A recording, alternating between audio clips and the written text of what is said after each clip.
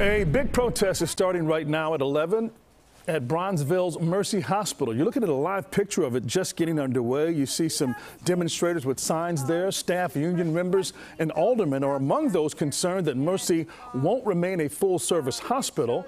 That's despite published reports of an agreement between Mercy and their new owners Insight Chicago. You see someone speaking there right now with this protest just underway.